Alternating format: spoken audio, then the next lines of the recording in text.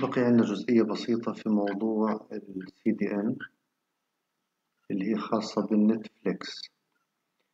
فإحنا زي ما شفنا قبل شوية لما بوب تعامل مع السينما Net Cinema هذه الشركة وكان بده فيلم معين أو data معين شيء معين فيديو معين.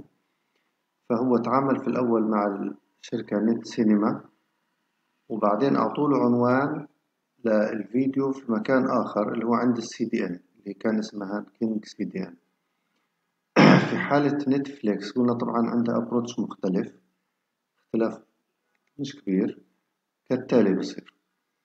في حالة Netflix ال client كبوب مثال في الأول بتعامل مع ال infrastructure بتاعت الشركة نفسها Netflix من ناحية ال registration من ناحية ال accounting ودفع الحساب وكذا. ثم بتعامل مع ال cloud تبع أمازون.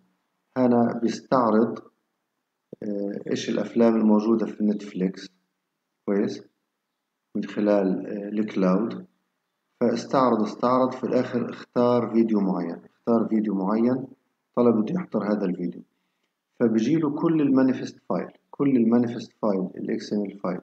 اللي فيه الأماكن الموجود فيها هذا الفيديو يعني المسمى تبعه وكذا المعلومات عن الفيديو ال metadata كلها بتيجي لل client بعدين ال client يعني اوتوماتيك برنامجه بيعمل آه، زي ping أو إيكو لمجموعة من السيرفرات القريبة اللي أقرب شيء عنده وبيختار اللي أقل delay وين السيرفر اللي أقل delay عليه؟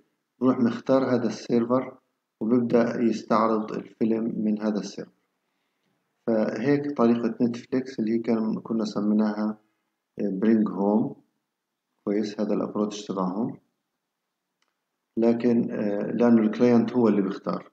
لكن في ال approach الآخر تبع أكاماي إذا فاكرين كان اسمه enter deep اللي هو بتوزع ال point of presence كويس بتوزع السيرفرات تاعتها very deep وقريبة جدا من ال user بتكون في ال access points في كل ال access point أو في بعض ال access points المشهورة بكون عندها سيرفرات قريبة من ال user.